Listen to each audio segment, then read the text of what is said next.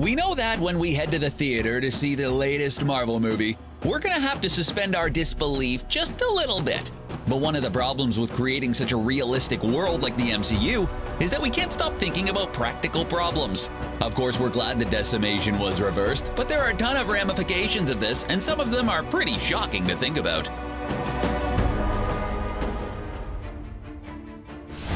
Let's start out with an obvious question, and one of which has been plaguing viewers since Avengers Infinity War. Why the decimation? According to Gamora, Thanos has spent his entire life trying to wipe out half of all life in the universe. Sure, he says he's doing it for the greater good, which has never been used as a justification for doing something completely heinous. But couldn't he have just easily wished for twice as many resources? In the comic books, Thanos decimates the universe for the oldest reason in the book to impress a chick. And by chick, we mean the personification of death. So, although it's not really a better reason in morale terms, it at least makes a little bit more sense. Even the Russo brothers admit Thanos could have just doubled the resources instead of wiping out half of all life. This watering down of the Mad Titan is what makes him less of a legendary villain than he could have been in the MCU. Now that we've mentioned that Thanos' plan was bad from the beginning, let's talk about why it's bad specifically. It seemed like the decimation just wiped out half of all life completely indiscriminately. So, for instance, half of all humans were eliminated, and so were half of all pigeons. As we know, the world isn't short on either humans or pigeons, so while tragic, the surviving humans and pigeons would all keep living and multiplying. But what about animals who are endangered? There are so many species on the precipice of extinction, and Thanos just pushed them over like he pushed Gamora off a cliff in Vormir. Uh, sorry, too soon? Even after reversing the decimation, those animals who perished as a result of their numbers being cut in half are gone for good, which means we'd be losing endangered species twice. So Thanos has been planning on causing the decimation for quite some time, and it's always been his goal to collect the Infinity Stones and wipe out half of all life in one fell swoop. So then why has he been manually killing half of all people all this time? He did this to Gamora's people and later tells her that her people are now flourishing due to bountiful resources. But what about after the decimation? Did they lose a further half of their population, taking them down to a quarter of their original number? Same with the Asgardians who Thanos confronted in outer space. Did even more of them die after the decimation, or did they just get a pass? What was the point of doing a DIY if they were going to get decimated anyway? And when the snap was undone, all of those who were decimated came back, but not those who died outside of it. So are the numbers of the Asgardians permanently halved? Let's talk about everyone suddenly being popped back into existence. In Avengers Endgame, Peter Parker tells Tony Stark that he simply woke up on Titan along with Doctor Strange and no memory of the past five years, so we can safely assume that everyone came back to life in the same spot they were in when they were dusted. But what about the people who weren't on solid ground? What about the people who were, say, on airplanes? Were people who were out on boats unceremoniously dropped into the ocean? Or was there an area of effect clause where people got safely put on the nearest landmass? Sadly, Will Delta will ever get answers to any of these important questions. Even the people who managed to return to solid ground are now faced with a serious problem. Where are they going to live? They haven't paid their rent or mortgage for the last five years, so they're not going to have a place to go back to. Sure, there are people who have friends and family they can crash with, but there are many more who don't. Imagine suddenly losing five years of your life and realizing your home is gone and you have nowhere to stay. This aspect of the decimation might be addressed at some point in Spider-Man Far From Home based on the first movie trailer. We saw Happy Hogan waving around an oversized novelty check for $500,000 dedicated to helping the homeless. Could this be specifically for those who lost their homes because of the decimation and its reversal?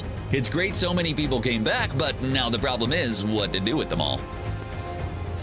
And another huge question is, how are we going to take care of them? When the decimation happened, we have to imagine production came to a grinding halt, and when it started back up again, it was to take care of a population that was half of what it once was. So all of a sudden, you have an utterly massive influx of people, and what are you supposed to feed them? How fast can production ramp up in order to get people fed and keep them that way? Even in an ideal situation where all the decimated immediately return to work, ready and raring to go, it'd still take quite some time. How many people would go without basic food, medicine, or other resources during that time? In Avengers Endgame, we even saw that heroes like Steve Rogers were having trouble coping with what happened. If losing five years doesn't earn you some vacation time, eh, we don't know what does.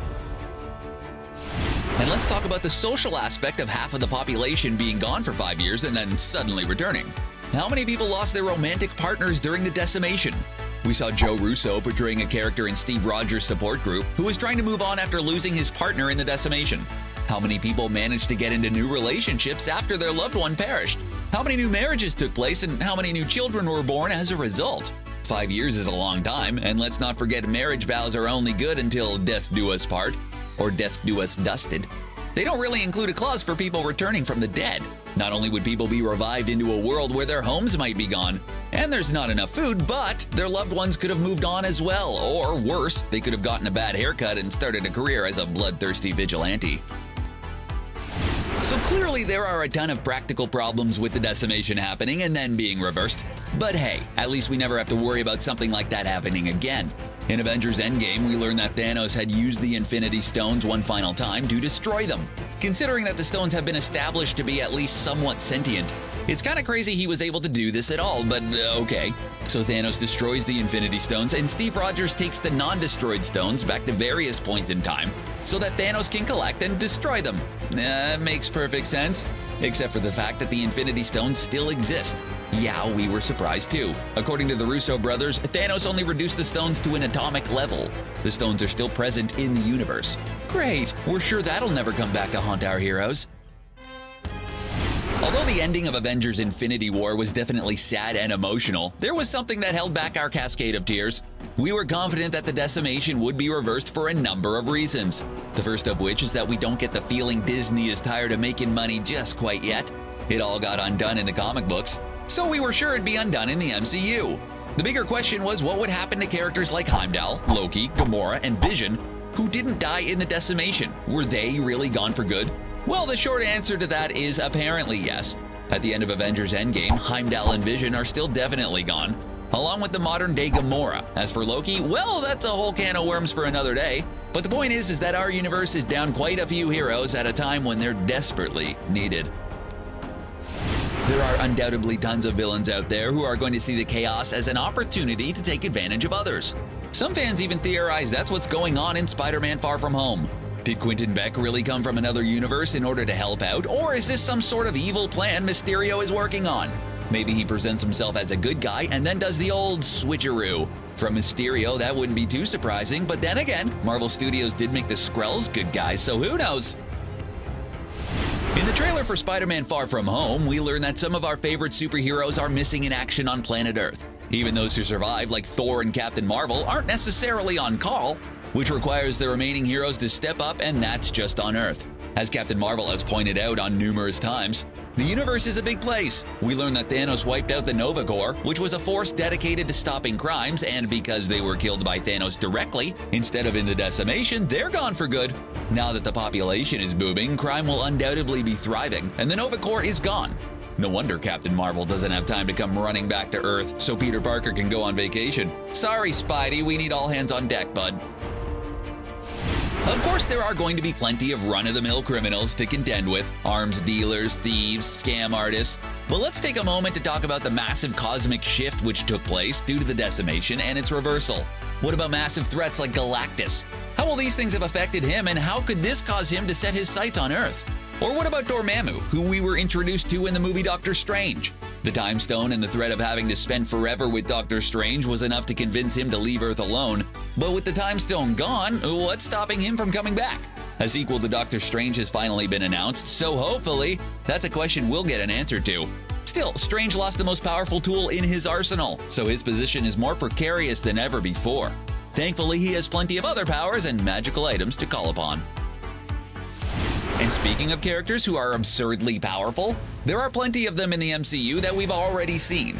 Did the decimation affect people like the Collector or the Grandmaster? These beings have been around since the creation of the universe and are pretty much immortal. What would be the ramifications if one or more of them disappeared in the decimation? And then what would happen if they were to suddenly reappear? Although we haven't seen Galactus in the MCU yet, we know Disney recently acquired the rights to his character as part of the Fantastic Four bundle they got from Fox. What would happen if Galactus simply disappeared? When he returns, would he be twice as eager to devour planets? Or if he remained, would he simply be going around completely unchecked? The Russo brothers gave future Marvel movie directors an out by saying that the Infinity Stones still exist in some way. However, for all intents and purposes, they're pretty much gone and we don't expect to see them again anytime soon. The Infinity Saga is over, and we assume Marvel's gonna move on to other things. But even without the Time Stone in existence, time travel is now a thing. Yes, it's extremely complex and requires Pym particles and tons of expensive equipment, but we know now it can be done. The problem with introducing something so powerful is that it could fall into the wrong hands. A villain may be inspired to create their own time machine after learning what our heroes did in Avengers Endgame, or someone we consider a hero could result in misusing time, either for their own selfish reasons or in an effort to save the day. Steve Rogers is supposed to be the best of us, and even he couldn't resist the temptation to misuse time travel. So, what can we expect from the average MCU citizen? Speaking of the limitations of our superheroes, let's talk about mortality for a moment. Sometimes what's right and what's wrong is pretty clear cut, people selling vibranium weapons to dangerous criminals falls neatly in the bad category. But then you have things like the events of Captain America's Civil War, where even our heroes couldn't agree on what's right or not. Could our heroes really have brought back everyone, and not just those who perished in the decimation? Bruce Banner said he tried and failed to bring Natasha back, but some statements made by Tony Stark made it seem like it would have been possible. The thing is, it would have meant erasing his daughter from existence, and he clearly wasn't willing to do that. We don't blame him, he's only human. But it does raise an interesting moral question. How heroic is it to leave so many people behind in order to save one life? We thought heroes didn't trade lives. In Avengers Endgame, we learn that Bruce Banner and the Incredible Hulk had put their differences aside and merged into one being. This came not a moment too soon because he was the only character who could wield the Infinity Gauntlet and survive. We saw him reverse the decimation, but not without being injured. When Thanos caused the decimation, it wounded him, and he's being established to be stronger than the Hulk. Destroying the Infinity Stones almost cost Thanos his life. We see that Bruce Banner's hand is now severely injured as a result of reversing the decimation, but we're not sure what the extent of the damage is. Do we have another hero injured or seriously out of commission? Does this new fused character heal as quickly as the Hulk, or will Bruce being present slow him down?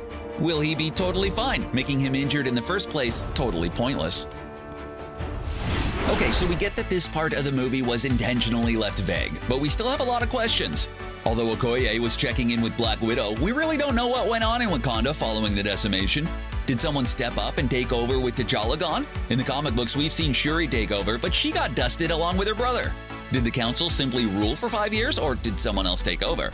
What happened with the Wakandan Outreach Center T'Challa created following the first Black Panther movie? Thankfully, we know we're getting a Black Panther 2, so presumably, we'll eventually get some answers to these questions. But Wakanda just went public prior to the decimation, and that was already a pretty precarious move. Things could have easily gone bad in this normally peaceful nation. Even back when we only had the Avengers Endgame trailers to show us what the MCU is like following the decimation, things certainly looked quite grim. Things got bad after half the population was wiped out in a moment, and even our heroes struggled to adjust. But the world changed greatly in order to adapt to everyone being gone. Socially, economically, governmentally, things have been shaken up to say the least. And while the decimation was reversed, it isn't going to undo all of those changes. The world just can't go back to the way things were pre snap. Instead, it's going to keep evolving to deal with these changes. All of those people who were dusted on our back and are going to be looking at government officials they've never heard of, who are in some pretty important positions. Let's take a moment to talk about poor Peter Parker, who got dusted and lost his mentor slash father figure, Tony Stark. He's back now, and it appears as though his pal Ned and his romantic interest MJ also got dusted and then returned. But what about everyone else in his class? What about everyone else in all classes for that matter? Do they just keep going to school like nothing happened? Half of their classmates are now five years older than they once were, and when you're a teenager, five years is a heck of a long time. The age difference between 16 and 21 years is quite significant. Maybe in the grand scheme of things, this isn't an enormous deal, but popping back into existence and learning that half your friends are now adults has to be incredibly jarring. And let's talk about the cultural impact of losing five years of time. Just think about all the Super Bowls everyone missed out on, let alone all the football players who have now been replaced. What's going to happen to them now? Won't someone please think of the professional athletes who are paid millions of dollars to play games for our entertainment? After returning to life, you just know there's going to be so many people eager to know how their favorite fantasy series Game of Thrones ended. How will their loved ones break the news that the eighth season has been a jumbled mess and one of the greatest shows of all time has totally gone off the rails? And worse yet, in 2023, the MCU George R. R. Martin probably won't have started Winds of Winter yet. It's truly a dark and tragic world they'll be coming back into. Because as we all know, winter is coming. We know there are tons of implications from the decimation and its reversal, and we've only scratched the surface. Let us know what your unanswered questions are in the comment section, and then click the subscribe button for more from CBR. Thanks for watching, and we'll see you again next time.